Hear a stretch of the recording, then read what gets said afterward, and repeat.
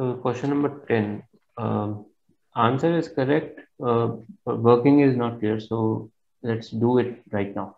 A, B, C, D uh, went to a restaurant for dinner. A paid half of the bill. So make sure you write a statement. Okay, let us write here. What will be the first statement? Can you tell me? Uh, fraction of the bill paid by uh, A. Yeah, fraction of the bill paid by A equals to Yes. half. Is this thing clear? Yeah.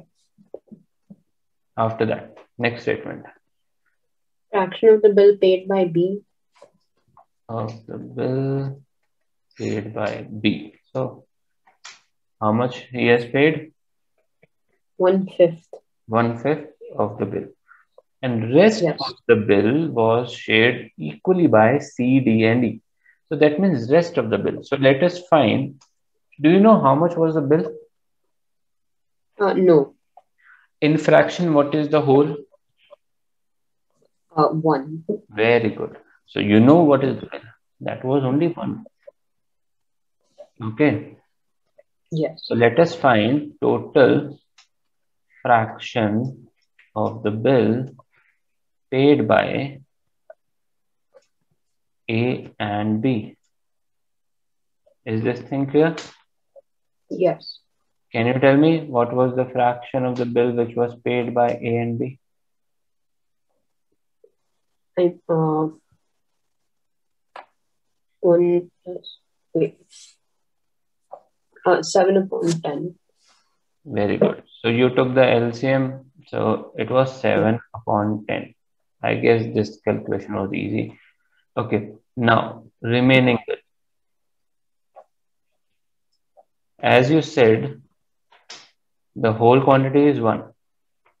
So 1 minus 7 upon 10. Is this thing clear? Yes. So what is the remaining bill? One, uh, it remains one minus seven upon ten. So that means uh, three upon ten is left. Very good. So 3 upon 10 is remaining. Now, uh, if you don't know how, like 3 upon 10 is like 10, 1 can be written as 10 upon 10, 10 minus 7, 3 upon 10. So remaining bill is 3 upon 10. Now, luckily there are only 3 people. So each will pay equally. So let me just do it. So that means uh, that will be 3 upon 10 divided by 3. Is this thing clear?